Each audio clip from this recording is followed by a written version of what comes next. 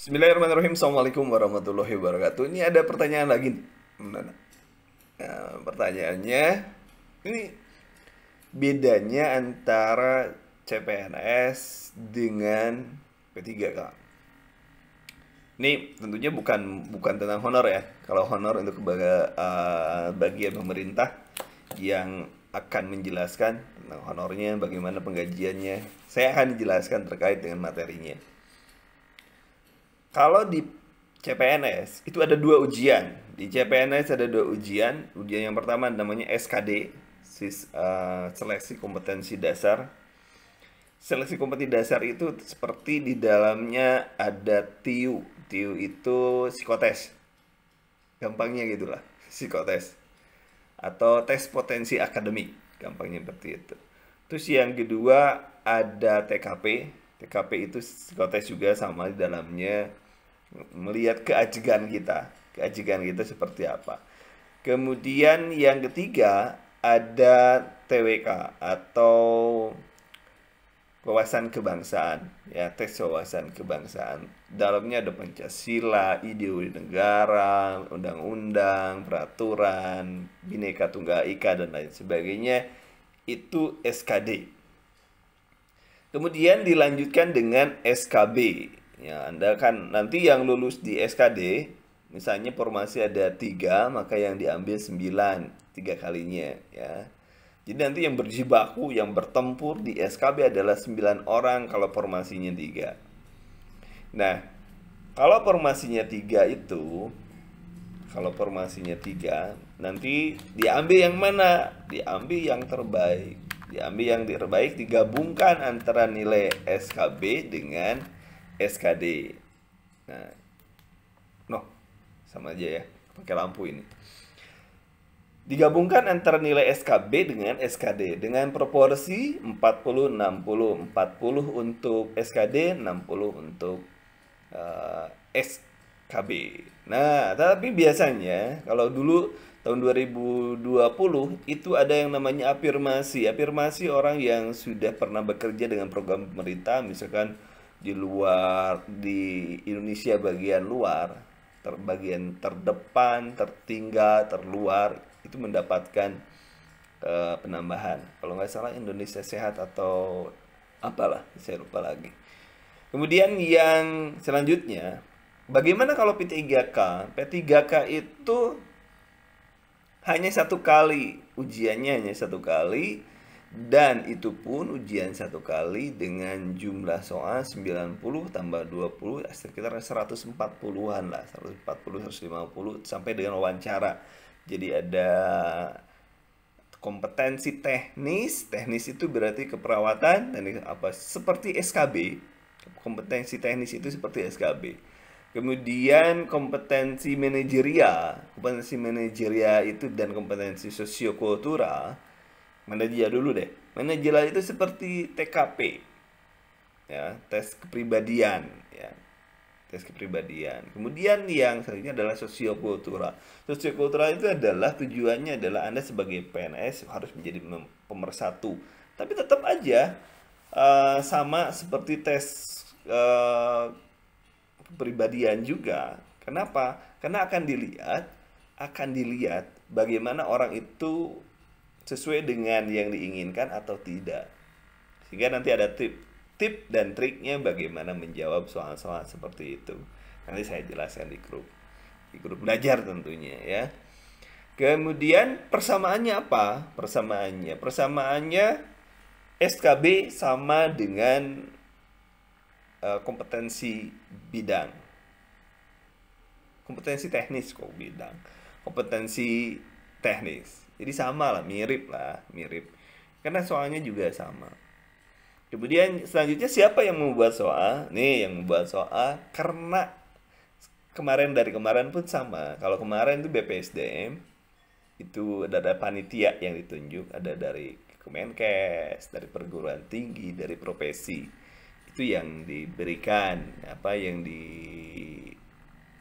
tunjuk untuk membuat soal. Yang nggak akan jauh lah kalau Kemenkes mungkin dari BPSDM BPSDM nanti bisa menunjuk dari Poltekkes dari Kemenkes dari perguruan tinggi jelas. Dari perguruan tinggi biasa paling juga UI UGM yang kayak gitulah gitu ya. Universitas universitas besar di Indonesia.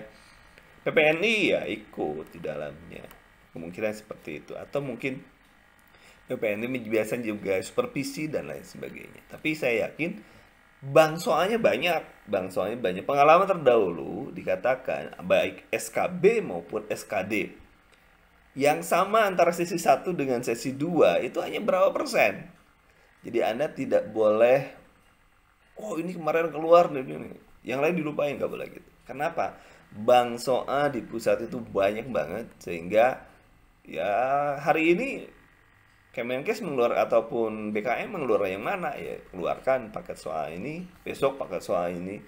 Kalau sama yang rugi dong yang di akhir-akhir ya yang di akhir-akhir. Dan samalah seperti itu jadi pakai soal dirubah-rubah kemudian uh, anda tidak bisa 100%. Tapi yang uh, atau kalau ada pertanyaan, kalau keluar dari ujian pertama dengan ujian kedua berapa persen yang keluar? Paling tiga maksimal itu 20 30 persen. Misalkan nanya kateter ada nih yang ditanyanya tindakan. Besok ujian besok ada kateter juga. Ya 30 persen lah maksimal 30 persen. Dan yang perbedaan tahun kemarin itu tidak ada apa ya tidak ada kesehatan umum baik di SKB maupun di P3K apa yang dimaksud dengan kesehatan umum? Kalau dulu mah ada kalau dulu ada ya. Kalau yang dimaksud kesehatan umum misalnya uh, eh, SDGs SDGs kemudian visi misi dulu itu ada judulnya apa judulnya? Soalnya uh, visi misi kabinet Jokowi itu apa? Itu ada dulu tuh judul eh, soal seperti itu. Kemudian nawacita dulu ada. Sekarang yang kemarin-kemarin nggak ada. Jadi tiap tahun berubah itu soal. Tiap tahun itu berubah dan nanti kita kalau artinya bagaimana? Artinya Anda harus belajar dari sekarang karena kita tidak pernah tahu kita mendapatkan soal yang seperti apa. Soalnya paket beberapa dan rezeki kita di mana. Jadi kalau misalkan oke okay lah kalau kita berbicara rezeki sudah diatur, tetapi usaha itu wajib. Usaha itu wajib jadi dua bulan. Dua, kalau saya hitung berapa lama sih harus belajar? Dua bulan lah belajar. Belajar itu dua bulan itu cukup dari mulai keperawatan. Gitu ya. Dan di Kanduru nanti juga akan dipisah karena ini pesertanya lumayan banyak, jadi nanti akan dipisah antara D3 dengan S1 itu atau NES akan dipisah. Nanti uh, materinya sedikit berbeda tapi sama-sama ada materi. Jadi misalnya di S1 nanya nanya kateter yang tanyanya pengkajian, yang di D3 nanyanya pelaksanaannya sama aja sebenarnya, tapi supaya Anda nyaman belajar, saya akan mem, me, apa akan memisahkan memisahkan. Mungkin D3 atau S1 pukul berapa yang D3 pukul berapa. Sama-sama dua jam per hari. Kalau kuis sama lah kalau kuis saya samakan. Kalau TO saya samakan. Supaya semuanya kenal gitu Anda kena yang S1 memang dari segi akademis uh, apa 60% atau 30% adalah adalah teori eh hanya teknis ataupun keterampilan. Tapi kalau yang yang D3 itu 60% adalah teo keterampilan sementara teorinya 40%. Jadi itu ada perbedaan, tetapi semua mau perawat atau dari D3 atau nurse semuanya Anda harus paham. Ya kan sama saja kateter yang diberikan oleh D3 sama dengan kateter yang diberikan oleh S1. Ya sama saja sebenarnya. Kecuali beberapa konsep mungkin kepemimpinan masih banyak di S1 tapi juga MTKP juga mungkin atau apa metode keperawatan profesional itu juga ada kadang-kadang tanyakan ini kasus ini uh, tim dan lain sebagainya. Itu ada di semua S1 maupun D3 jadi kalau permennya berbeda dong. Permen dari berdasarkan permen berdasarkan kompetensi berbeda. Nanti ada permennya nanti kita bahas bahas di Zoom nanti perbedaan D3 dengan S1 tapi pada prinsipnya ujiannya sama kadang kemarin sama. Ada yang sama tapi juga ada yang beda. Dan makanya saya bedakan. Saya bedakan aja lah kecuali di zoom dan di tryout saya samakan. Dan di quiz saya samakan. Karena itu kan pertanyaan-pertanyaan Anda harus kenal semua pertanyaan. Karena kita tidak pernah tahu mana pertanyaan yang akan keluar jadi itu perbedaan antara D3 uh, eh, antara P3K dengan yang SKB atau D3.